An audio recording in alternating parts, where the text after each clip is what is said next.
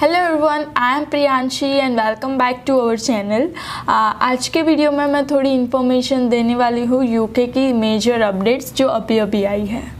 So students are you ready to know the latest information about the UK's major update so let's begin तो पहली update ये है कि वहाँ पे जो अभी अभी एक न्यूज़ आ रही थी कि यूके में बहुत से रूल्स चेंज होने वाले हैं। वहाँ पे अभी यूनिवर्सिटीज़ बहुत सारी कम हो रही है। बहुत सारी यूनिवर्सिटीज़ में एडमिशन नहीं मिलता है और वीज़ाज़ के लिए भी दिक्कत आती है।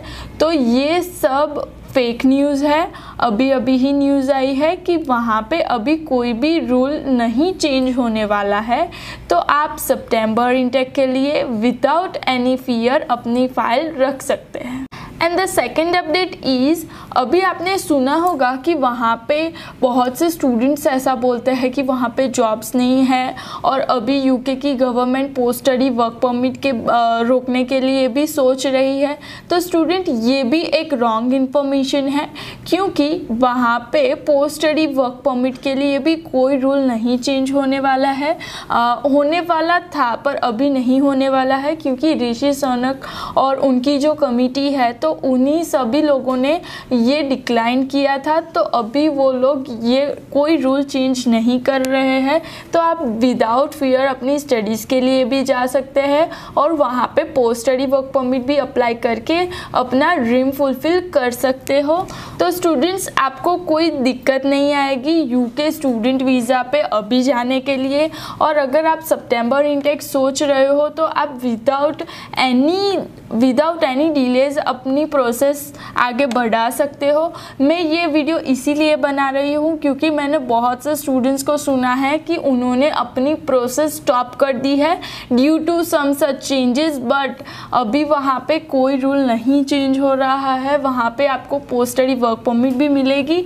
तो स्टूडेंट यही अच्छा मौका है कि आप सितंबर इंटेक में अपनी प्रोसेस आके बढ़ा के वहाँ पे चले जाइए तो आपको कोई अनचेंज रूल्स नहीं मिलेगा। और अभी तीसरी अपडेट मैं बताने जा रही हूँ जो कि ये है कि बहुत से स्टूडेंट्स ऐसा भी बोलते हैं कि अभी यूके में स्कॉलरशिप्स नहीं मिलेगी। तो स्टूडेंट्स ऐसा भी कुछ नहीं है वहाँ पे स्कॉलरशिप भी मिलेगी। और ये सितंबर इंटेक में तो कंफर्म स्कॉलरशिप्स है ही। जैसे कि मैं आ, कुछ यूनिवर्सिटीज़ मेंशन करूँगी। अगर आप ये यूनिवर्सिटी में जाते हो तो आपको स्कॉलरशिप रहेगी ही रहेगी। जैसे कि यूनिवर्सिटी ऑफ़ ईस्ट लंडन है, उसमें आपको 1500 पाउंड स्कॉलरशिप रहेगी। टी साइड यूनिवर्सिटी है, उसमें आपको 3500 स्कॉलरशिप रहेगी। लंदन साउथ बैंक यूनिवर्सिटी है, उसमें आपको 2000 स्कॉलरशिप मिलेगी। यूनिवर्सिटी ऑफ़ हार्डफोर्डशायर है, उसमें आपको 1000 पाउंड स्कॉलरशिप मिलेगी। वैसे ही कोवेंट्री यूनिवर्सिटी है, उसमें आपको 5000 स्कॉलरशिप मिलेगी। तो स्टूडेंट्स ये यूनिवर्सिटी कुछ यूनिवर्सिटीज़ के बारे में मैंने आपको बताया है।